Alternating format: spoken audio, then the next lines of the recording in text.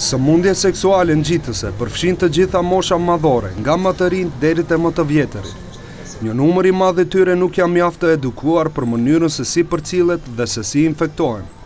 Ivana Dokçeva, mjeke në repartin e dermatologjisë, thotë se të rinjtë përveç HIV-it si sëmundje seksuale ngjitëse, nuk kanë njohuri për infeksione tjera, si ato të baktereve dhe viruseve që shkaktojnë pasoja fatale shëndetësore.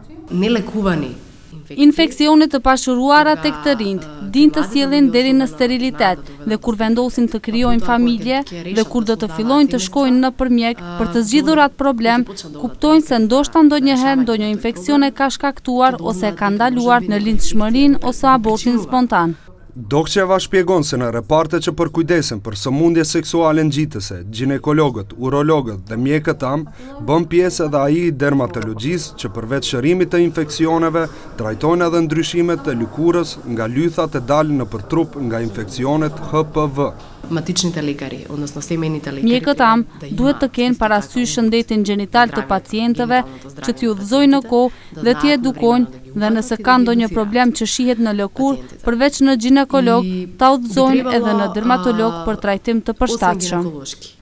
Mjekja thotë se mënyra më e mirë për parandalimin e infeksioneve është lajmërimi në kohë te mjeku. Sipas saj, çdoherë duhet të parandalohen këto sëmundje para se të shërohen, dhe mënyra më e besueshme për të parandaluar infeksionin me një rrezik të lartë ose të ulët me HPV, është përdorimi i prezervativëve ose shmangja e çdo kontakti lëkurë më lëkurë me personin e infektuar.